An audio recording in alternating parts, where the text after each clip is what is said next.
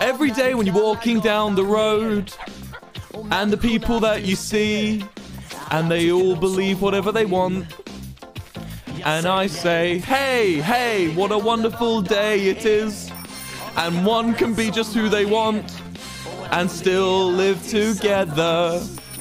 You have to listen to yourself, hear whatever you want, follow the music, not sit still. Open your eyes, open your ears, gather your siblings and parents and have a good time with them. There's an easy rule, and it comes from inside.